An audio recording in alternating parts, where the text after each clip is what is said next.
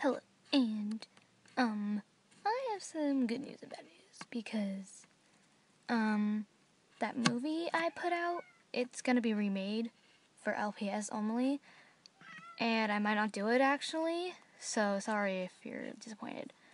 But the good news is that Budder cats is out.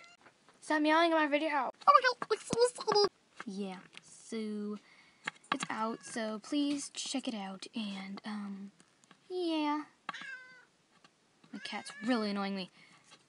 Chloe, shut your tail. Anyways, bye.